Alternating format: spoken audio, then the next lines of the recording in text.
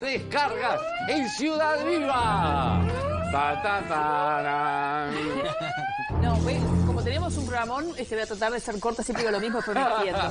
Pero bueno, la justicia habló, este, en el caso de Romina Papazo, Es verdad. se confirmó, este, le dieron este, prisión, es penitenciaría, pero lo que quiere decir es, es como que va a haber prisión efectiva este, de Romina por un montón de delitos. Uno de ellos, asociación para delinquir.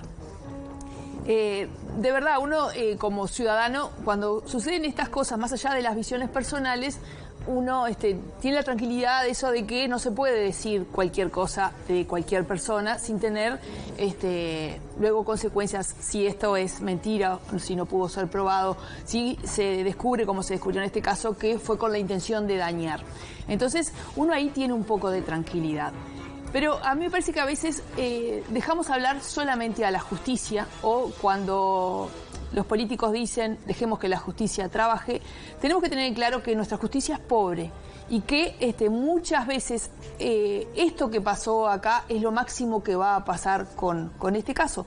Porque no hay este, brazos este, para investigar a fondo esta asociación para delinquir si, este, por ejemplo, tiene a más personas que eh, Paula, que fue la, la denunciante de este caso. Vos la otra vez, Fito, me traías lo de este, aquel camión en Cerro Largo que vino con un montón de Ah, panes ¿te de acordás? pasto para eh, el Huilla. Este, quedó procesado el camionero. Pero este señor, ¿por qué se le ocurrió hacer, hacer esto? ¿no? Este, no había nadie más implicado.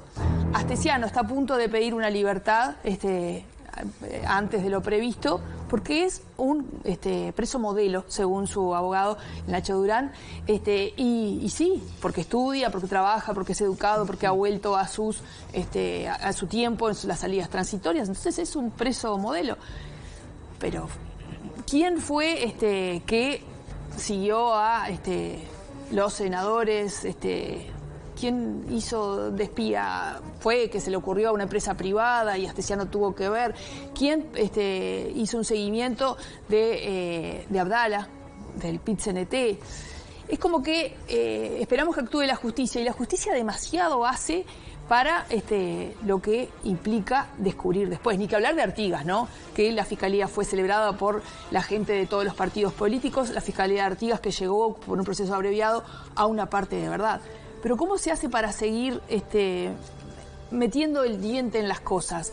¿Cuándo vamos a descubrir eh, todos los grandes este, quizás personajes que mueven alguna de estas cosas que no puede ser que un ciudadano común se le vaya ocurrido, ah, bueno, yo quiero ser, este, arreglar el, el Viera y me voy a traer, me subo a mi camión y me voy a comprar, y claro, y me traigo para que el Viera tenga, sea aún más bonito de lo que es esa catedral del fútbol. Entonces me, trae aquella reflexión de, aquella conversación de Bustillo con este con, con la candidata, la que fue candidata presidencial después del Partido Colorado, ¿no? Este, con la subsecretaria de Relaciones Exteriores. Este, la vamos pateando para adelante, decía él. Y no hago referencia a que en este caso sea lo mismo. Pero tengo la sensación de que todos nosotros vivimos pateando para adelante las, las cosas. Hoy hablamos de crónica. Y, y capaz este, que podemos reír de ese medio de comunicación, pero el tener una cadena de televisión todo el día, de, de noticias, hace que la- las noticias estén allí todo el tiempo. Y uno tiene la sensación de que ya no hablamos más de, este, de aquellas pruebas que se rompieron en el, ¿no? Este, para, de aquella prueba administrativa, un legajo que aparece en otro, en otro lugar que el que debería estar.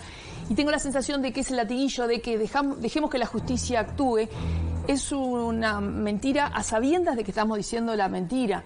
Porque no tiene la- el dinero, lo vemos en las rendiciones de cuentas, siempre hay poco dinero para la justicia, no tiene la cantidad de recursos humanos, una atada a la otra, y no tiene los tiempos como para llegar a verdades.